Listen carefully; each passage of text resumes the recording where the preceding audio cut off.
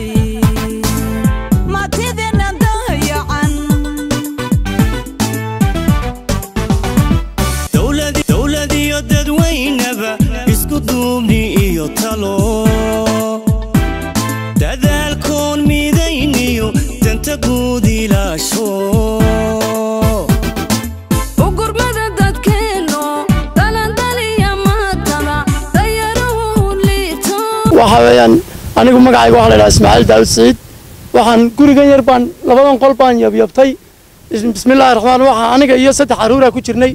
Ilaahay wuu naga badbaadiyey. Waxba kumaanaan noqonin. Jiingadii iyo siliiggii iyo looxii buu naga qaaday. Waxaa daaday nimcayd ilaahay aad noo soo waxay ahayd adugu waa duufaan buu roob duufaanna wata. Waxaanu naga yimid xagga galbeed? Magaalada gebigeedana wuu adigu inta badan wuu waxbuu yeelay marka alxamdulilah de waa alxamdulilah waa wax ilaahay keena weeyaan waa ilaahay waa marka wax kastoo ilaahay keena waa lagu xamdi naqaya gurigaan ku jirnay gurigaa labadaa qol dee jiingadii iyo adugu looxiyo saliigaba uu naga qaaday. Alxamdulilah shukri dee carruurtii ilahay waxba noogamu yeelin waanu ka badbaadin awlaadda way nooga badbaaday. Dee waa alxamdulilah duufaankaasaana maray xagga galbeed buu nagaga yimi. Dee wix ilaahay wado unbu ahaa qise ilaahay wado ayay ahayd dee sidaas weeyaan dukaamada caamiran iyo bakhaarada dafta dacaaraha dhisayse daruuraha higsada dolarka iyo lacagta dayin baa ku siiye wixii kaama raacde akhira u meeldayo alxamdulilah aniga farsal maxamed axmed baa la yidhaahdaa ta nimco ilaahay waxaan maanta mayd dhexoolina waa nimco gurigaa igu xigabo mayd baa yaalla ilaahay wuu naga nabadgeliyey nimco diirkuna wuu nagu dumay. Sadaqad weyn baa nagu baxday. Alxamdulilah ilaahay baa mahad leh roob duufaal ayaan helay. Wuxuuna helay shalay toolle cabaara casarkii. Anigoo ah saade yuusuf jaamac ayaa waxaa la qabsaday dee meherad bay ahayd. Dukaanahoo dabeetana roobkii ayaa nagaga yimi maxay ahayd? Xaggan dee gebiga magaaladiina waa kaa dhulkula simay. Alaabtii waxalla wixii daadkii unbuu raaciyey gurigii baabiiyey alaabtii baabiiyey dee gurmadkii markii dambe naloo soo gurmaday gaadhi alaabtii lagaga guray wax dadina waxba nagagama dhiman alxamdulilah rabbilcaalamiin intaasiba waa ilaahay mahadii waa iska adduunya waxaan ilmaha yare dee waxaan ku idhi saqiirka mooyaane waxaan ku idhi magaaladu si kale waa nabad qabtaa way laakiin hanti iyo dee guryihii iyo waxaasunba aad wax yeeloobay. Alxamdulilah sa kale waan fiicannahay dee magaalada waxaa ku dhacay mooyaane. Wax kale dhibaataa kale ma qabno.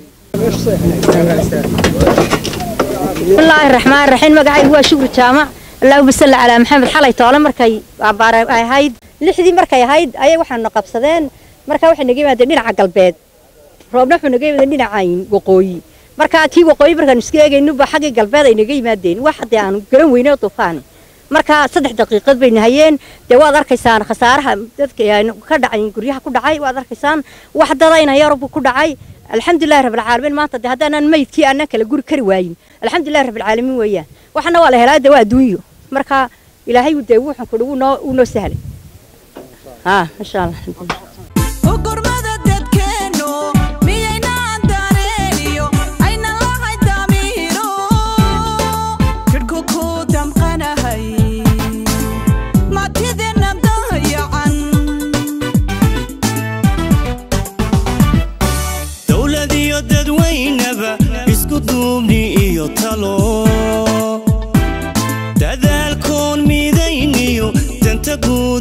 ilaasho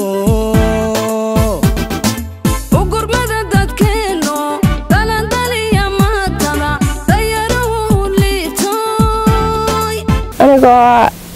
ismaaciil jaamac ahna maxay hooyooyinkii ku noolaa degmada salaxley waxaa nagu dhacday waxyaalo culus baa nagu dhacay.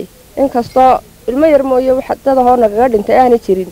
Haddana khasaaro ballaadhan ayaana gaadhay waxaan leeyahay dawladdu deg deg deg deg hanuugu soo gurmato wax noo qabato. Wax noo qabato waa kaa guryaha gurigaa waan ku dhex jiray. Marka naftii xamili waayey waan ka boodoo geed hortiisa ku beernaa baan qabsaday markaa wixii ilaahay nagu soo gidnaba waxaan doonaynaa inaa deg deg noo soo gaadhaan dawladayada iyo madaxweynahayadiyo asalaamu calaykum waraxmatullaahi wabarakaatu anigoo magacaygu haysabaa xaybe ibraahim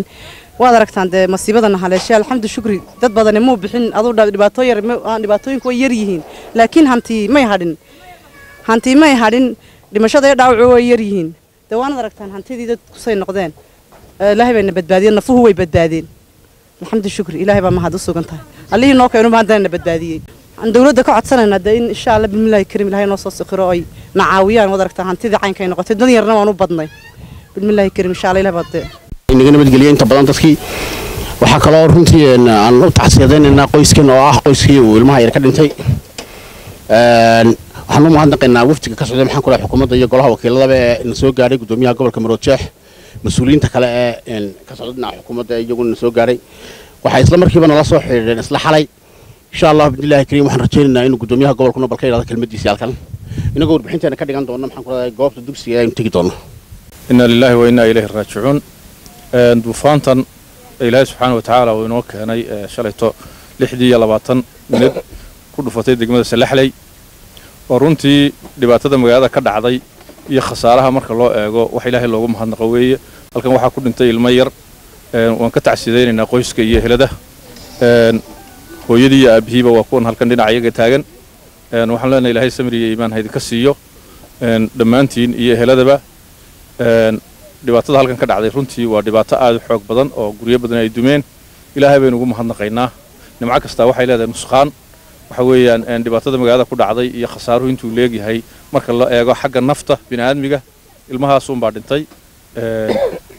Ilaahay baynu ugu mahadnaqaynaa. Qoyskana waynu ka tacsiyadaynaynaa ilaahay subxaana wa tacaala mar labaad waxaan leeyahay samir iyo iimaan ilaahay idinka siiyo. Cawl khayr qabaan idinku ducaynaynaa. Ilaahay subxaana wa tacaala inuu idinka siiyo xukuumadduna wixii gargaara haddii ilaahay ka dhigo way idinla soo gaari doontaa idinka iyo bulshada kale ee reer salaxley ee dhibaatadu haleeshayba. Marka hore waxaan aad iyo aad runtii uga tacsiyadaynayaa qoyskan oo ilmuhu ka geeriyooday oo runtii dee masiibadii runtii ay ku dhacday iyo dadka kale runtii dhibaatadu ay soo gaadhayba aad iyo aad baan khaasatan qoyska ilmuhu ka geeriyooday. Waxaan leeyahay samir iyo iimaan naf waliba saacadunbay leedahay saacadunbay bixi ama yaraan ha noqote ama weynaan ha noqotee wixii dadaalee dowlad ahaanna runtii waxa xilligaa runtii laydinku socdo ee xukuumaddii iyo dowladdii iyo hay'adeedii u diyaargarowga iyo kahordega masiibooyinkuba runtii ay u socoto. Marka insha allahu kariim ilahay waxaan idinka rajaynaynaa inuu samir iyo iimaan uu idinka siiyo. Wafdigaygan madaxweynuhu xalay amar buuna siiyey. In riboort saxa laga keenay degmada salaxle wixii khasaare dhacay. Insha allahu tacaala dowladdu ilaa madaxweyne ilaa mas'uuliyiintii loo kala hari maayo sidoo kale iyadana waxaa xusid mudan tuulooyin degmada salaxle ay xukunto in waxyeeleeyeen gaar ahaan tuulada bahar dhamal oo saddex guri ka dumeen ilmo yarna ku dhaawacmay. Insha allahu tacaala sida maayarku riboodka nagu siiyey dhammaan wixii halkan khasaare ka dhacayna kolley ribood wanaagsan baanu ka diyaarin doonaa. Ilaahay cawil khayr qaba dhammaan dadka cid ka geeriyootay iyo inta khasaare maaliyadeedba ku dhacay. Innaa lilaahi wa innaa ilaahi raajicuun. Ma dhinta waa ilaahay. Waxaan tacsi tiraaya u dirayaa qoyskaas uu ka geeriyooday ilmahaas masiibadaas iyo duufaankaa dhacay uu sababay. Waxaan kaloo iyagana tacsiyadanayaa dhammaan ummadda degmada salaxley cid kasta oo wax ku noqotay iyo cid kasta oo uu khasaare ka gaadhay haddaan nahay xukuumadda madaxweyne maxamed muuse biixi cabdi hogaaminayo. Waxaanu xilligaa subaxdaa u soo kalahanaan u nimi inaanu xaaladiina ogaano. Dhammaanna ka qiimayno waxaa la yaalaa wixii meesha ka dhacay dabeetana si gurmadkaasi u socdo mar labaad iyo mar saddexaad waxaan tacsiyadaynayaa reerkaa goorida ku timi in ilaahay cawilna khayr qabo siiyo iyagana. Marka hore waxaan tacsii tiiraanya leh runtii. Aan u doonayaa inaan muxuu ahaa u jeedino qoyskan ee masiibadii dhacday ay soo gaadhsay khasaaraha ee ilmo yara ku dhintay.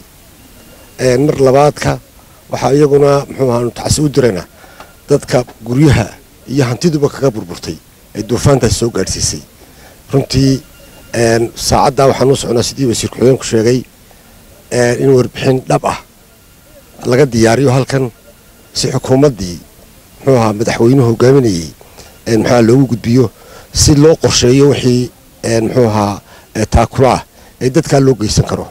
Muxuu ahaa waa masiibo ilaahay keenay waxaanu inagu shaqo ku leenahay maaha reer salaxle haddii intaas ka soo gaadhay inay ducaysteenbaa oo ilaahay baryaan ayaa runtii u sugnaaday.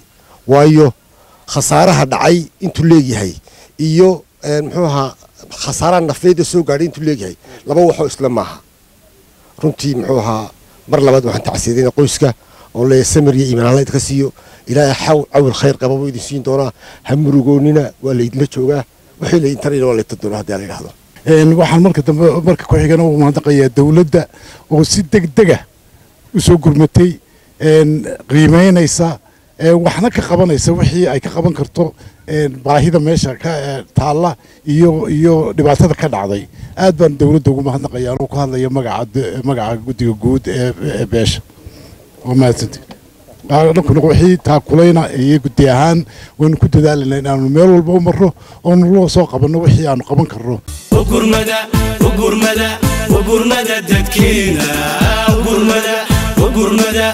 gurmada dadkeena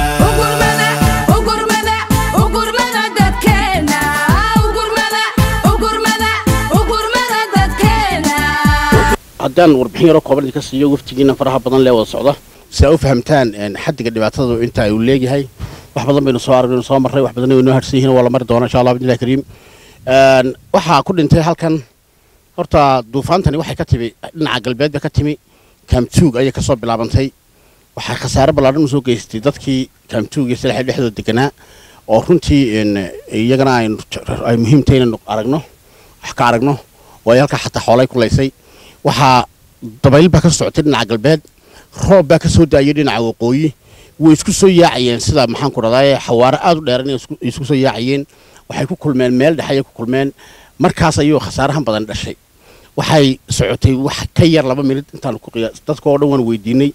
Qof walba wuxuu yidhi waxaan ku qiyaasayuun laba daqiiqadood ama way ka yareedba haddii ay halkaasii dhaafi lahayd oo laba daqiiqadood kale ku soo darsami lahaayeen boqolaal iyo boqolaal bay noqon lahaa dhimashadu ilaahay baan ugu mahadnaqaynaa subxaana wa tacaala. Dhismayaasha dhimashadu markaa halkaa qof weeye dhaawaca saddex iyo toban qof ayay wax soo gaadheen laakiin dhammaantood way wada ladan yihiin saaka. Khasaaraha dhismayaasha soo gaadhay daaraha ay dadku leeyihiin ee barayfadkiihi waa afar iyo labaatan. Basaskan ay bulshada inta badan ku nooshahay waa koob iyo soddon. Ha tendooyin baa ladaha boqolashaa dadku ay ku noolaayeen waa koob iyo soddon.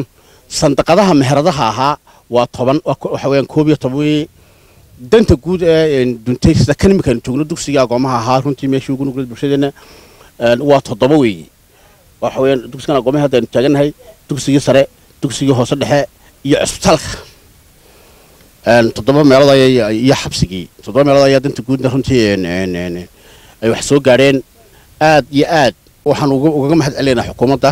Iyo dhammaan mas'uuliyiintan waxay meelaha hay'adaha kala duwan ka socdeen noo yimi sida aad noola soo xidheen isla markiiba sida aad markiiba noogu soo gurmateen.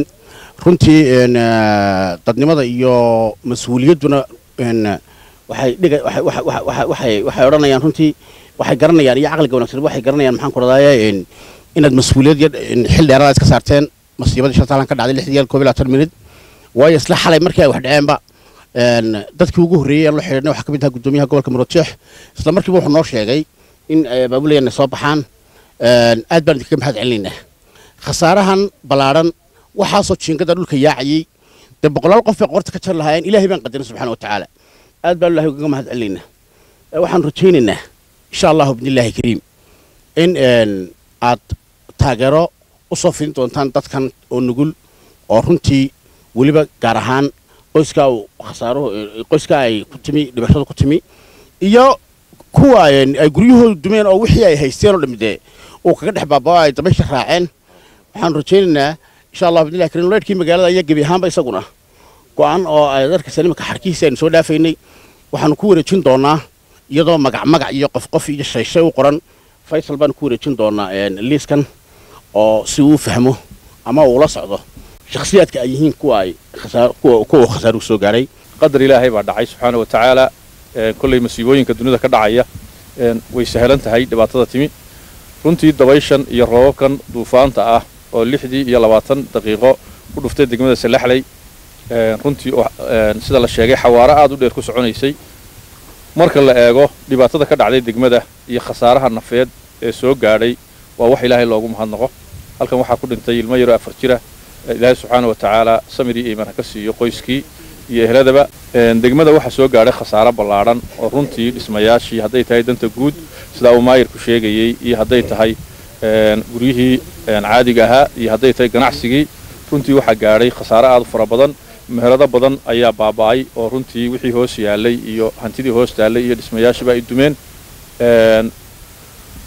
Waa dhibaato sahlan. Marka loo eego dee duufaanadii waddanka ka dhacay iyo masiibooyinka adduunyada ka dhaca laakiin waa wax ay runtii aynaan hore inoo soo mari jirin oo argagax leh runtii wafdigan ballaadhan ee gurmadka ku yimi ee wasiir ku-xigeenka agaasimayaasha odayaasha kale.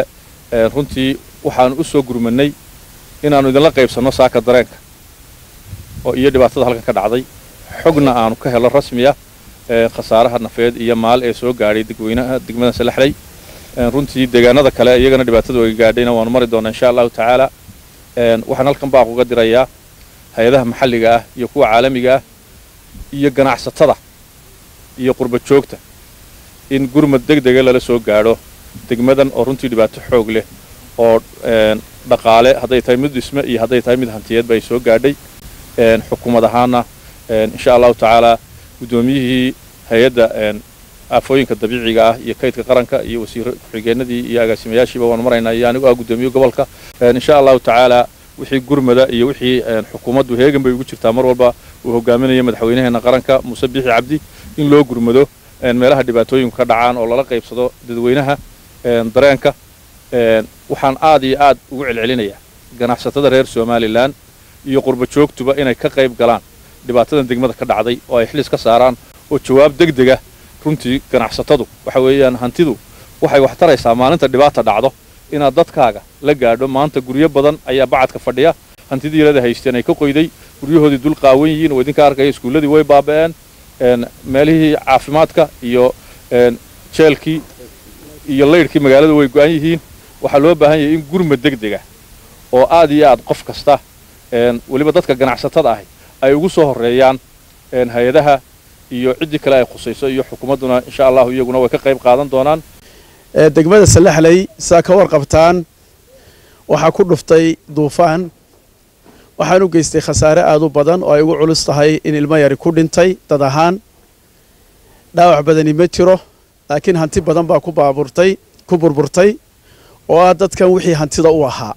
Qofka bini aadamka ah isaga waxaa qiimo u wuxuu haysto. Kii sandaqada haystay ma hayo kii bas haystay ma hayo kii daar haystayna ma hayo. Khasaare aad culus baa gaadhay saa ogtihiinna degaankani waa degaan u badan dadka maaragtay reer miyiga ah xoolo dhaqatada ahaa. Iyadoo abaartii hore ay jirto oo dhibaato xoogle ay ka soo gaadhay ayaa tanna markii ay ka soo kabteen ay ugu biirtay. Saa darteed dhammaan dadyoga muslimiinta ah ee samafalayaasha ah waxaan u jeedinayaa baaq islaamnimo oo ah in dadka la taakuleeyo. Waayo saakaa ma hayaan hooy wixii u hoos yaallay ee hanti ay haysteen qaar baa ubadkoodu raacay. Intay isu ee xoolaa intii uga hadhay ay ku dhisteenna waa intaa dabayshu dhufatay. Marka qof kastoo muslima ah oo waa dhammaanteen waynu isu wada damqanaynaa jidh keliya ayaynu nahay. Allah baa ina faray subxaanahu wa tacaala wa axsinuu kamaa axsana allahu ilaykum. Macnaa qofka muslimka waa inuu u samafalo waayo ilaahay baa inoo samafalay iyagana imtixaan baa ku dhacay waxaan iyagana farayaa inay maar u sheegaya inay sabraan oo ilaahay tala saartaan. Inta ummaddu u soo gurmanaysana ay iscaawiyaan. Marka iyagoo muslimiinta ah siiba ganacsatada waxa ugu muhiimsan qalabka dhismaha. Qalab dhismo oo inay dadkan cid waliba ay ku taakulayso. Waayo meel walba waxaa inoo yaalla qori iyo jiingad iyo loox. Kole waxaa ka arki doontaan iclaamka. Waxaa goglan waad yaabaysaan nasiib wanaag. Dadku waxay ku badbaadeen roobkaa da'ayay guryaha lagu wada jiray dad iyo xoolaba haddii dadkoo dibadda jooga uu ku dhufan lahaa dad badan baa maanta madaxu maqnaan lahaa. Marka baaraka allaahu fiikum aynu dadaallo. Maalinba dee keena dhibaatadu gaadho waa in la caawiyo. Runtii annagu dee gurmad baanu u nimid. Xilka yagaaba gurmad marka hore. Oo hay'addaydu waxaa la yidhaahdaa hay'adda u diyaargarowga aafooyinka iyo kaydka raashinka qaranka. Marka runtii markii aanu xalay maqalay runtii markiiba waa lagu baraarugay. Madaxda oo dhan runtii waanu telefoon baanu intaa ku wada hadlaynay. Si deg dega ilaa madaxweynuhu amar wuxuu ku soo bixiyey in la tago deegaanka la tago oo la soo eego. Runtii wakti waxay ahayd adag oo ciidna lagu kala maqan yahay. Ayay runtii ayay ku soo beegantay oo habeennimona warku goor dambe runtii uu soo dhacay. Dee grifgrif iyo waxay noqotoon runtii dadaal wixii samayn karaynay. Wax yar baanu runtii ka soo gaadhsiinay oo aanu doonayno in loo qaybiyo dadka inta ugu jilicdasan inta waxhaysata maaha inta yaree ugu jilicsan ee dhibaatadu runtii ay soo gaadho boqol ee, kartoono timir ah iyo xogaa bacaah iyo buskudkan carruurta iyo iyo waxaan u sidnay runtii waxoogaa ah maxay ahayd bustayaal iyo waxoogaa aanu isku soo soodhada oo dee goor dambe habeen badha runtii qabax qabax nagu ahayd. Insha allah waa soo dadaali doonaa haddii ilaahay yidhaahdo waa gurmad yaro hordhaca weeye ee gaadhigiina wuu inoo taagan yahay haddii ilaahay yidhaahdo waxaanu ku wareejin doonaa maamulka degmadaan ku wareejin doonaa haddii ilaahay yidhaahdo inuu qof qof u gaadhsiiyo dadkaasi. Runtii dhibaatada ka dhacday dee aad bay runtii u ballaaran tahay oo dhimashada ilaahay baa inoo sahlo dee ilmo yaroo afar jira baa inaga dhintay. Ilaahay u naxariisto samir iyo imaano dadkii uu ka dhintay ilaahay u ehelkeennaba een sidoo kale runtii dadkii dhibaatadu ay ka soo gaadhay ama xoolo khasaare ha noqdaan ama dee dhismayaashoodii iyo guryihii hoygii ay noloshooduba ku xidhnaydoo dee dumay ha noqotee. Ama ha noqoto dee imika kaa agoomaha aynu hortaaganahay uu ka mid yahay uu ka mid yahay iskuulkii sare uu ka mid yahay cisbitaalkii ho- hoose dhexe uu ka mid yahay oo meelo fara badan oo runtii danta guuda oo runtii iyagana khasaare ay soo gaadhay baa runtii muuqda. Iyagana runtii insha allahu kariim waxaan dadaal ku geli doonaa in hay'adaha ay khusayso oo dhan aanu sida ugu dhaqsaha badan iskugu yeedhno oo aan u howlgelino sidii horta bal waxa danta guuda in sidii u dhaqsaha badan horta loo dhisi lahaa. Ta kale waxay u baahan tahay runtii dhismayaasha kale. Dee hay'ado inaga caawin maayan inta badan oo dee mashaqooyinkii faraha badnaa imika aanu ku jirnayba dee aad inoogama caawin xagga. Waxaa laga yaabaa shaltar yar ama waxyaabo yaroo fudud inay inay naga caawin karaan. Marka waxay u baahan tahay runtii ganacsatadeenna iyo dadkeenna iyo ummadeenna muxsiniintii inay iskugu tagto. Dibad iyo gudaba baynu u baahanna. Sanadkan horta abaartii iyo waxaynu ka baqaynay. Dhinac wuu jabay. Oo maanta barwaaqu bankii iyo dhulkii kolkaanu soo marray nimcaynu ku jirnaa. Ilaahayna inuu inoogu sii wado. Dee wixii dhibaato dhacayna in ilaahay inooga cawil celiyo inoo fududeeyo. Ilaahay inoo fududeeyo ayaan rajaynayaa.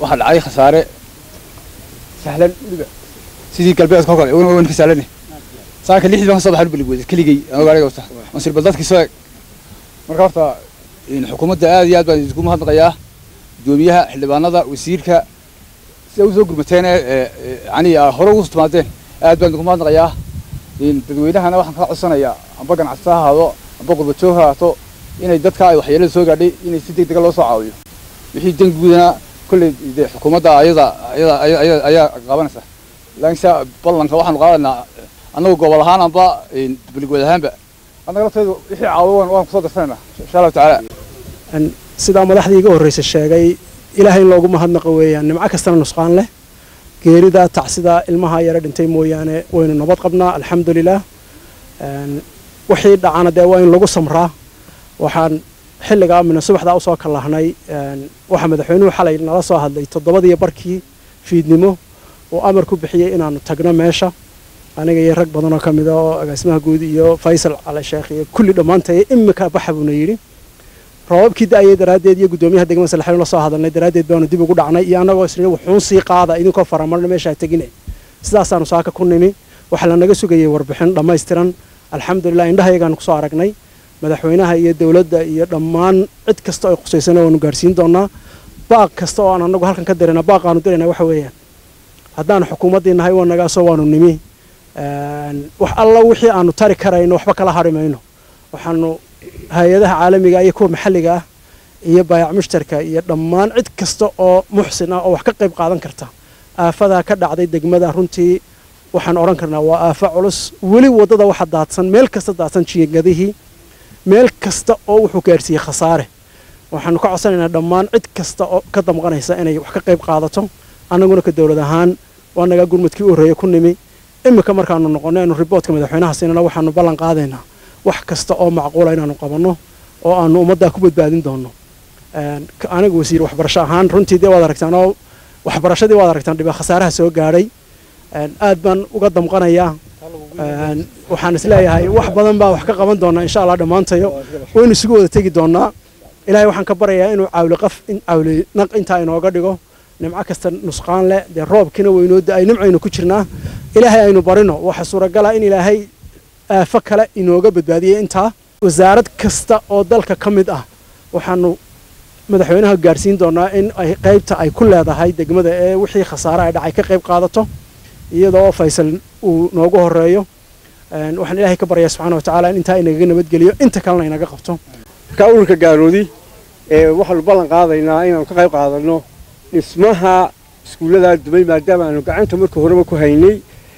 Ilaa iminkana aanu gacanta ku hayno waxaanu ballan qaadaynaa qurbajoogayaga gaaroodi inaanu si mug leh oo laxaada uga qayb qaadanno dhismaha iyo dib hagaajinta iskuulladaa burburay maadaama gaarood uu ku sutan yahay waxbarashada deegaanka salaxday muddo toddoba iyo toban sannadood ayaan wadnay waxaan halkan qurbajooga ugu dirayaa fariin inaan la hagran ee arrinta qurbajooga iyo qoqoljoogaba deg uga qayb qaataan. Ugu hambaliyana madaxweynuhu iyo dowladda somalilanba tallaabada deg ah ee ay soo qaaday ee runtii si ay dadka ula qaybsato dhibaatadu gaadhay ay waxa gaadhay ula qaybsadaan khasaaraha guud ahaan gaadhay iyo siduu falaqsan yahay waa aragtaan. Khasaare runtii ku filan oo inuu hakiyo waxbarashadii iskuulka. Runtii way ku filan tahay. Waxaa nasiib wanaaga kula duu nala jooga wasiirkii wasiir ku-xigeenkii waxbarashadu oo arkay isagoo maanta goobjoogu yahay. Khasaaraha soo gaadhay kan iskuulkaynu ka nimid iminka iyo kaanu ku soconno kale isaguna dugsigii hoose dhexaa runtii waa hawl soo kordhay wasaaradda iyo inta kale wax ka tari karaysaba. Waxaanu ku baraarujinaynaa dadkii muxuu aha dadka qurbajoogga ah iyo heedaha islaamiga ah iyo kuwa kale internationalska ah iyo united nationskaba inay arrintaa wixii ay ka qaban karaan ka qabtaan. Waxaan ahay maamulada dugsiga sare degmada salaxley sidaad aragtaan ama halkan idinka muuqata kani waa dugsiga sare waxaa gaadhay khasaare aad iyo aad u ballaadhan xataa gudaha uu dumay jiingadi waad aragtaan laakiin waxaa ilaahay loogu mahadnaqaa waxay xilli fasaxa oo ardaydu ay iskuulka maqan yihiin wax khasaaro oo nafrado iskuulka dhexdiisa gaadhay ma jiro. Laakiin waad aragtaan jiingadihii iskuulku inay dhulka hodhan yihiin haddana markaad eegta khasaaraha ka dhacay magaalada wuxuu noqonayaa wax aad u yar. Maadaama hal qof kale ku dhintay magaalada gebigana aad aragtaa inay wada jiinga tahay marka waa wax ilaahay loogu mahadnaqo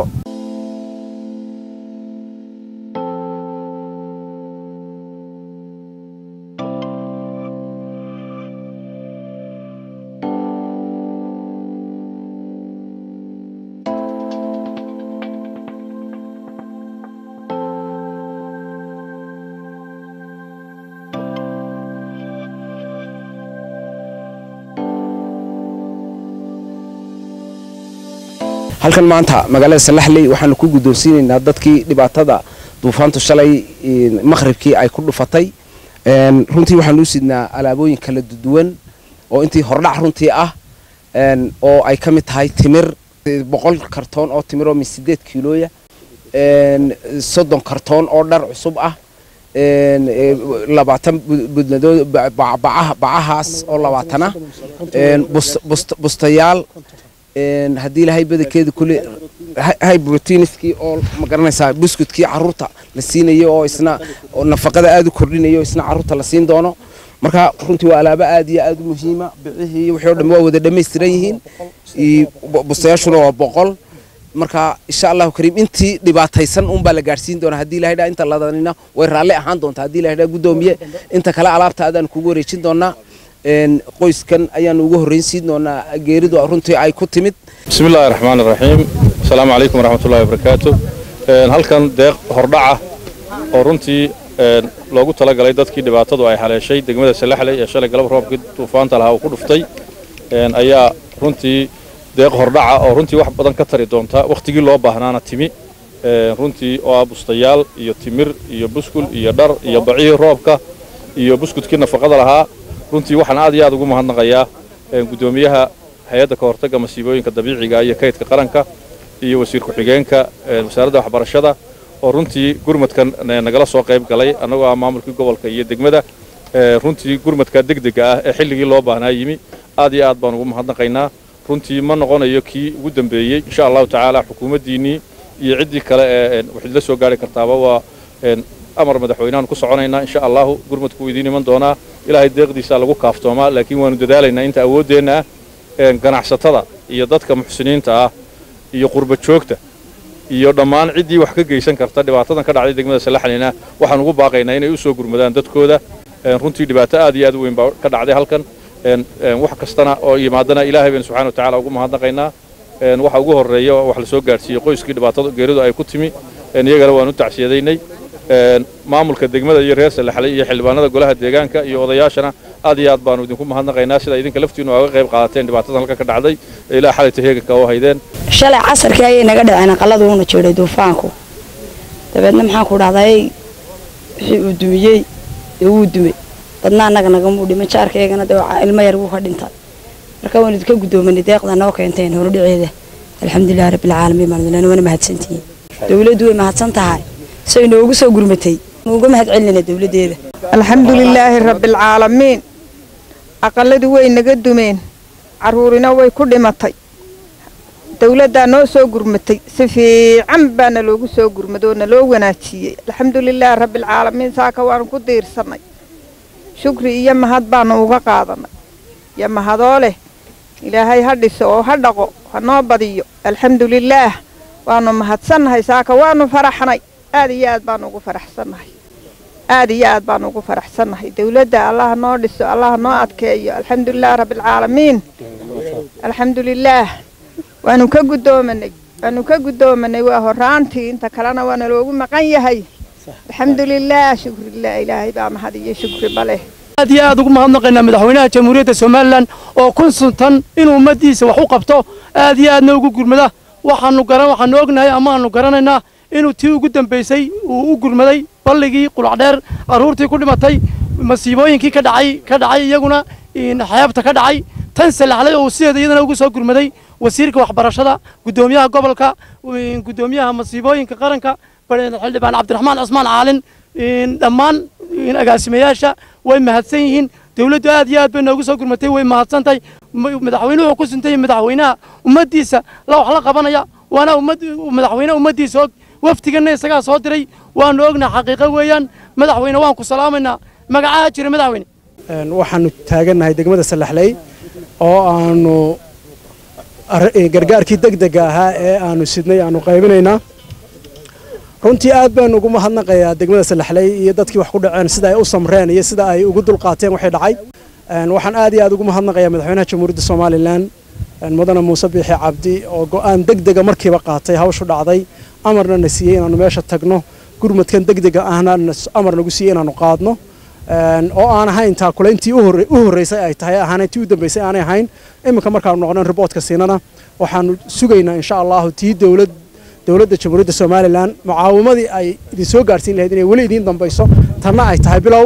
Ilaahay waxaan ka baryayaa subxaana wa tacaala idinkana inuu samirna idin siiyo hawshana idin fudaydiyo. Annaguna waxaanu ku ballan qaadayna inaanu dadaalno. Wax alla wixii kartida iyada aan waxba idinkala hadhin waxaanu halkan maxaan ku dhahday maanta kagala wareegnay deeqda hordhaceedii oo baabuurkan saaran oo isugu jirta bustayaal timir bacaha guryaha la saaro iyo karaatoon dharka cusub ah. Buskudka nafaqada degdega carruurta u celiya aad iyo aad baanu uga mahad celinaa insha allah bidnillahi kariim. Hay'adda wixii loo aasasana wuxuu ahaa in ay maxaan ku dhahday shaqooyinkan oo kala qabato aad baanu uga mahad celinaa. Waxaa kaloonu ka codsanaa hay'adda insha allah bidnillahi kariim hadda kadib inay halkan xafiis ku yeeshaan annaga dowlad hoos ahaan xafiiska siin doona waxaan rajaynaa inay shaqaale keeni doonaan si ay markaaba maxaan ku jawaabaha noocan oo kale markay yimaadaan u helaan insha allah bidnillahi kariim